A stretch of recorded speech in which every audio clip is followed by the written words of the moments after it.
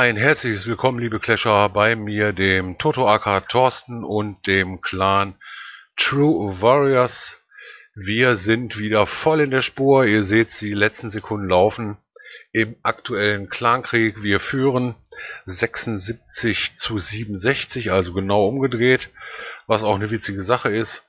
Und haben diesen Krieg, muss ich sagen, im 9er Bereich, im 8er Bereich und auch gut im 10er Bereich dominiert gegen einen Zwölfer-Clan aus Griechenland. Jetzt muss ich einmal hier drücken. Und sind damit wieder voll in der Spur. Wir gucken mal rein, was wir hier gerissen haben. War eigentlich wieder Pflichtprogramm.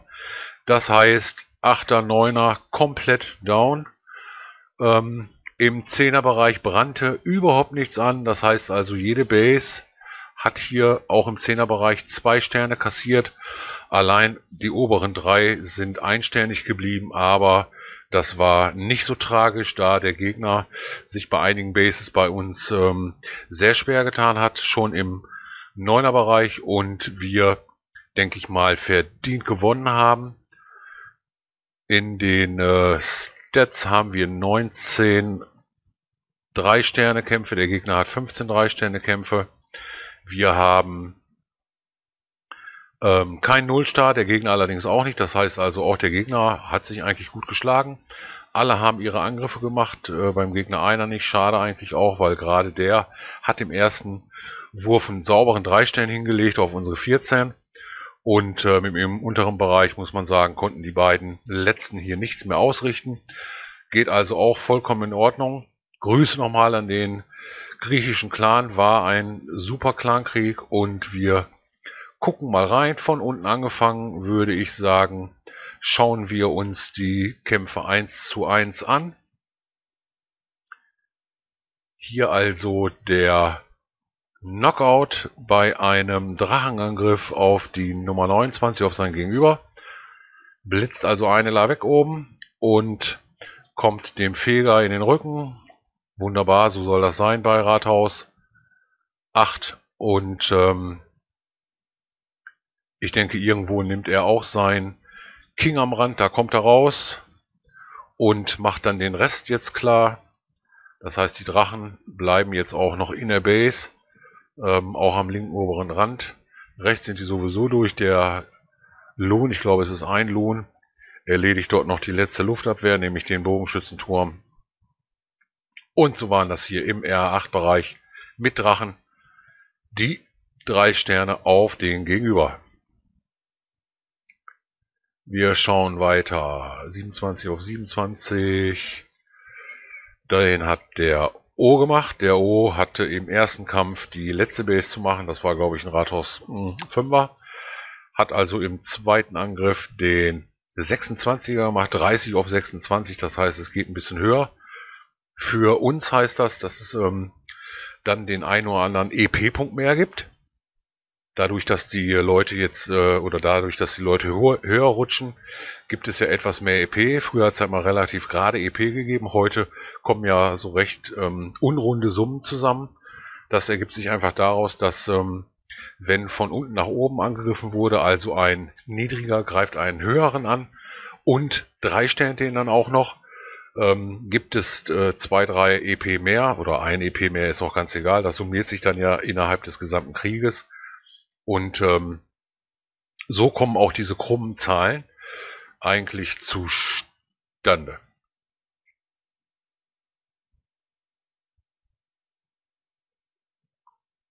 Ich musste eben mal was trinken, weil mein Mund ziemlich trocken ist.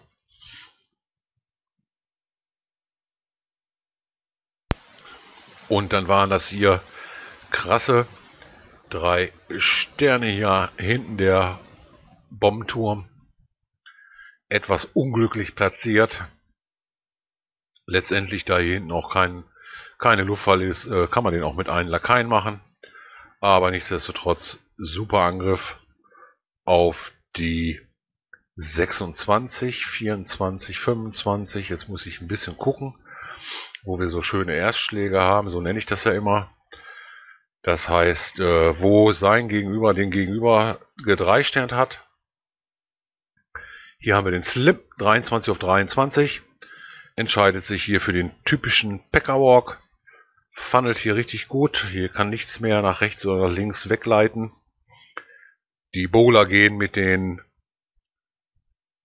mit den äh, Packer richtig krass in die Mitte. Kommt dann von einer Flanke mit den Hocks zur Hilfe. Jetzt müssen allerdings Hocks ein bisschen geheilt werden, weil jetzt ziemlich viel Flächenschaden reinkommt. Da hinten noch eine Bombe, okay.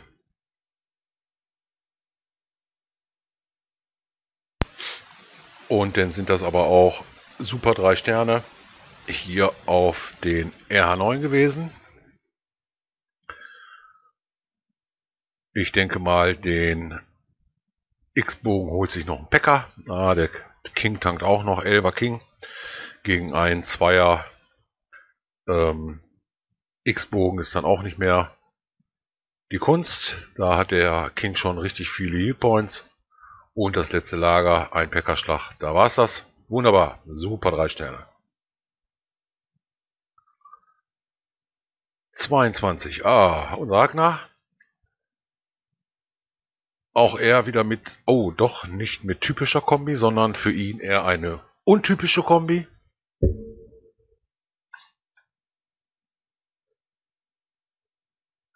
Nimmt ihr also Golems und so ein kleines Kill Squad bestehend aus King, Magiern und Queen. Hat hier aber richtig viele Hocks am Start. Da kommen noch aus der Clanburgs Hocks, sehe ich gerade. Ich habe also auch noch nicht jeden Kampf gesehen. Und ich kann mich erinnern, dass das auch der, der erste Kampf war. Schade, da hat das Rathaus noch nicht gekriegt mit dem Magier, aber die Hocks sind noch gut dabei. Das ist noch eine ganze Masse, da tankt noch der Mini-Golem. Und damit war das die letzte GIF, äh, die letzte Def. Die Hock sitzt in der Mitte, das Rathaus war ja schon angehittet und dann ist es nur noch ein Aufräumen. Und soweit ich mich erinnern kann, war das der erste Kampf. Das heißt also gleich zu Anfang des CKs eine kleine Duftmarke gesetzt für einen Gegner.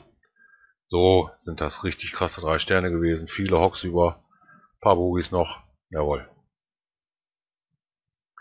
Wir rutschen ein bisschen höher.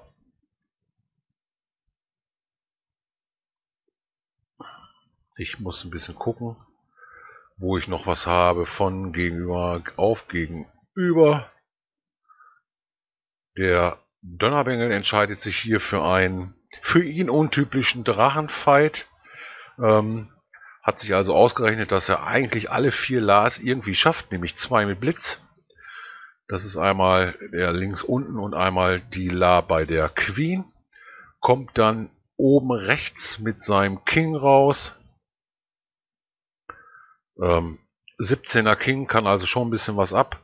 Gezündet, irgendwelche Truppen, das war, schätze ich mal, seine Hoffnung, laufen sicherlich zur La. Damit war die dritte La down. Und die vierte La, genau das habt ihr vermutet, holt sich jetzt die Queen ganz easy peasy, ohne Gegenwehr. Das heißt, diese Base ist komplett ähm, von Lars befreit. Die X-Bogen stehen auf Boden. Man sieht das, die Queen kriegt jetzt gerade Beschuss. Und ähm, Allerdings äh, lauert natürlich noch die gegnerische Queen. Dort aber für die Masse an Drachen war es dann jetzt doch nicht mehr so der Knaller, auch wenn die alle schon angeschossen waren von irgendwas. Aber man sieht selber, dass die am Ende doch noch stark überlebt haben. Kommt hier im Backend nochmal mit vier Loons raus, weil die Drachen noch ein bisschen Beschuss kriegen. Aber das war super geplant. Und äh, so waren das im ersten Schlag hier richtig krasse drei Sterne, auch von 15 auf 14. Äh, da tauschen die manchmal aus, die ähm, beiden Brüder hier. 14 macht 15, 15 macht 14, haben aber absolut identische Truppen, absolut identische Helden. Und ähm, so waren das hier super drei Sterne. Hier ganz krass 20 auf 12. Der Unterschied von 20 auf 12 ist allerdings, wenn ich so die Helden sehe, gar nicht mal so, so weit weg. Da hat der Lauterer hier schon fast die besseren Helden, hat vielleicht noch nicht so die starke Base. Deswegen der große Unterschied hier.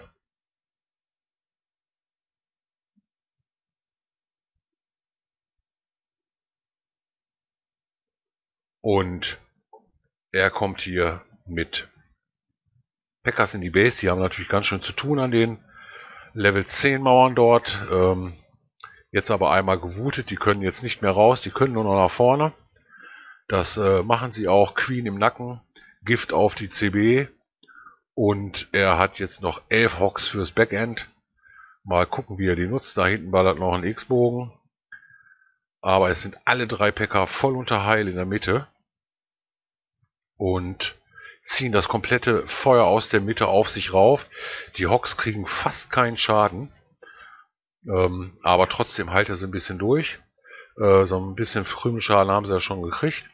Und ähm, nach wie vor die Hocks unberührt. Die reiten da komplett durch und kriegen überhaupt keinen Schaden. Die Packer fangen fast alles ab. Erst jetzt kriegen auch die Hocks mal ein bisschen was zu tun. Und ähm, außen kommt er schon mit den ersten Cleanup-Truppen. Jetzt haben die Hawks allerdings noch ein bisschen was zu tun. Zweimal Flächenschaden ist natürlich auch krass zum Ende, muss man so sagen. Und ähm, oh, oh, oh, da ist eine ganz knappe Sache da. Aber er kommt hier sehr verteilt mit seinen Cleanup-Truppen. Das heißt also zeitmäßig klappt das sicherlich auch. Vier Hawks, die angeschlagen sind, jetzt noch auf den Bogenschützenturm, der glücklicherweise gerade abgelenkt ist von dem Magier. Und ähm, so sind das natürlich jetzt richtig gute drei Sterne. Kaum noch Truppen über, aber zwei pickepackevolle Packers. Und ähm, das reißen jetzt noch gerade so die Cleanup-Truppen. Und somit war das von 20 auf 12 wirklich ein starker Angriff. Kann man nicht anders sagen. Und das gibt nochmal Extrapunkte. Das sehen wir gleich auch mal im Ergebnis, dass wir da so eine krumme Punktzahl wieder bekommen haben. Die hat man früher nicht bekommen. Jawohl.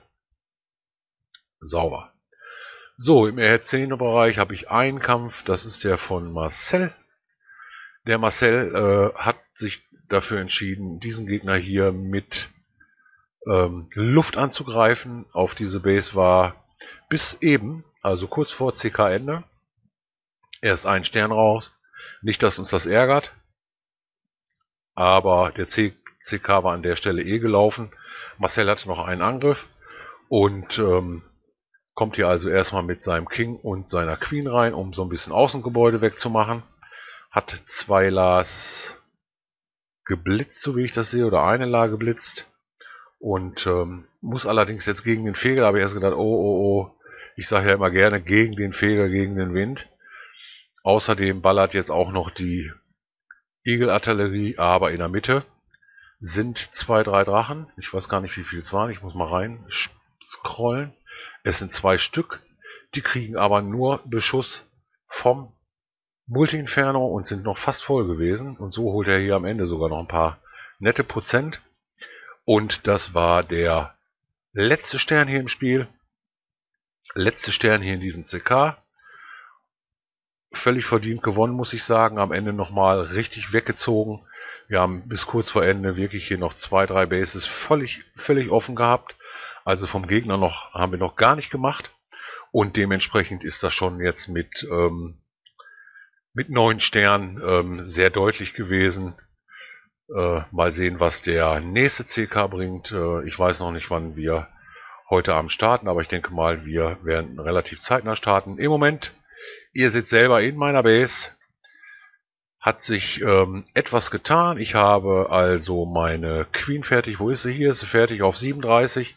Mir fehlt noch so ein bisschen, um sie wieder schlafen zu legen. Allerdings habe ich auch zurzeit keinen Bauarbeiter frei und würde auch gerne den einen oder anderen CK mitspielen.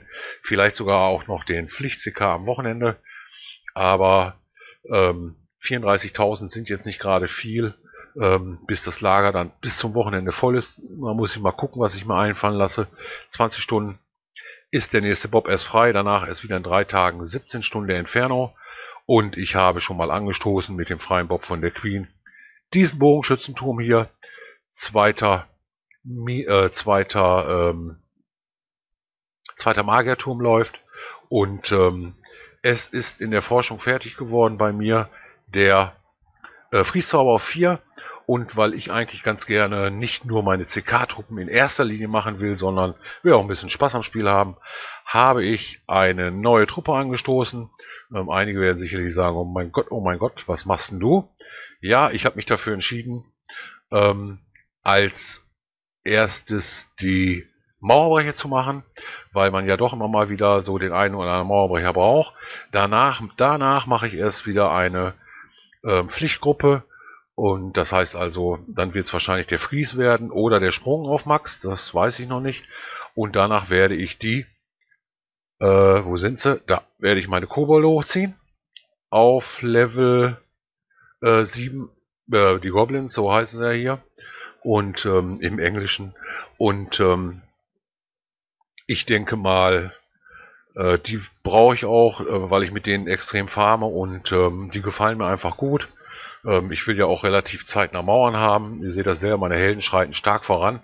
Und äh, die Dev kommt von ganz alleine hoch, aber die Mauern, man muss halt doch immer wieder einen Bob frei haben. Man muss entsprechend mehr Gold oder mehr Elex dafür bereitstellen, dass die auch so ein bisschen mit nachkommen. Sonst hat man irgendwann die Situation auch als RH10, man hat alles fertig. Es fehlen nur Mauerteile und da muss ich sagen, habe ich überhaupt keinen Bock drauf. Dann bin ich doch lieber ein bisschen Mauerfetischist und ähm, maxe meine Mauern auch schön durch. Habe auch wieder ein bisschen hier geschafft, wie man hier sieht, auf der Flanke und auf der Flanke. Ähm, fand ich auch ganz gut. Ich hatte sogar mal ein, zwei, drei Stündchen mal einen Bob äh, länger frei, weil ich einfach eine Mauer gemacht habe. Hätte schon eine Def machen können, aber mir war die Mauer einfach wichtiger. Habe ein bisschen nachgefahren. Und so läuft das hier. Ich denke mal, wir sehen uns die Tage. War jetzt eine etwas längere Folge, aber ähm, ich äh, farme im Moment ja relativ gelangweilt hier rum und äh, freue mich eigentlich über jeden CK. Ich sehe gerade, dass der nächste CK schon gestartet wurde und ich bin auch mit dabei. Das freut mich natürlich umso mehr. Ähm, spiele auch, denke ich mal, den und den Pflicht-CK am Wochenende auch mit und lege danach in jedem Fall, egal wo da dann Bob frei ist und wenn ich einen freilasse, die Queen auf 38. Das heißt also Road to Level 38 für die Queen. Und dann würde ich sagen, sehen wir uns in den nächsten Videos. Lasst einen Daumen nach oben, wenn euch ähm, meine Videos gefallen. Und ähm, wir sehen uns beim nächsten Mal. Euer Toto clasht.